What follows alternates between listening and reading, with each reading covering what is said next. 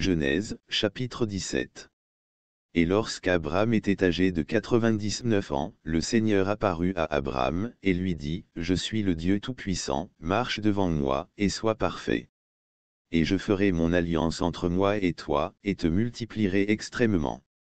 Et Abraham tomba sur sa face, et Dieu lui parla, disant, Quant à moi, voici, mon alliance est avec toi, et tu seras un père de beaucoup de nations. Ton nom ne sera plus appelé Abraham, mais ton nom sera Abraham, car un père de beaucoup de nations t'ai-je fait. Et je te rendrai extrêmement fécond, et je ferai de toi des nations, et des rois sortiront de toi et j'établirai mon alliance entre moi et toi, et ta semence après toi en leur génération, pour être une alliance sempiternelle, pour t'être un Dieu, et à ta semence après toi. Et je donnerai à toi, et à ta semence après toi, la terre dans laquelle tu es un étranger, toute la terre de Canaan, pour une possession sempiternelle, et je serai leur Dieu. Et Dieu dit à Abraham, Tu dois garder mon alliance par conséquent, toi et ta semence après toi en leur génération. Ceci est mon alliance, laquelle vous devez garder entre moi et vous et ta semence après toi, tout enfant mâle parmi vous sera circoncis. Et vous devez circoncire la chair de votre prépuce, et ceci doit être un indice de l'alliance entre moi et vous.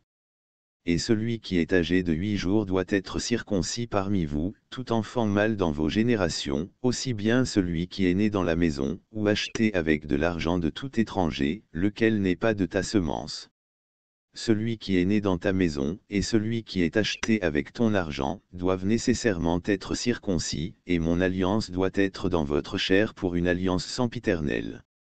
Et l'enfant mal incirconcis duquel la chair de son prépuce n'aura pas été circoncise, cette âme doit être retranchée de son peuple, il a rompu mon alliance.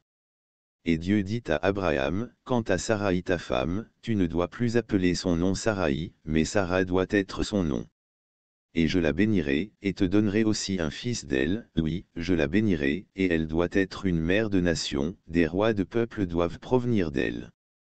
Alors Abraham tomba sur sa face, et rit, et dit en son cœur, Doit-il naître un enfant à celui qui est âgé de cent ans?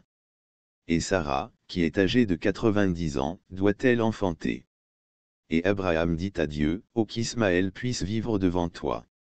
Et Dieu dit, Sarah ta femme doit enfanter en effet un fils, et tu appelleras son nom Isaac, et j'établirai mon alliance avec lui en une alliance sempiternelle, et avec sa semence après lui.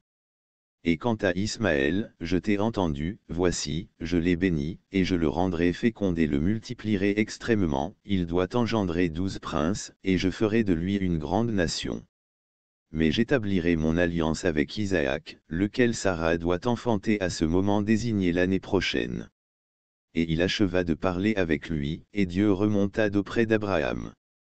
Et Abraham prit Ismaël son fils et tous ceux qui étaient nés dans sa maison, et tous ceux qui avaient été achetés de son argent, tous les mâles parmi les hommes de la maison d'Abraham, et il circoncit la chair de leur prépuce en ce même jour-là, comme Dieu le lui dit et Abraham était âgé de 99 ans, lorsqu'il fut circoncis en la chair de son prépuce. Et Ismaël son fils était âgé de 13 ans, lorsqu'il fut circoncis en la chair de son prépuce. En ce même jour-là Abraham fut circoncis, et Ismaël son fils. Et tous les hommes de sa maison, ceux nés dans la maison, et ceux achetés des étrangers avec de l'argent, furent circoncis avec lui.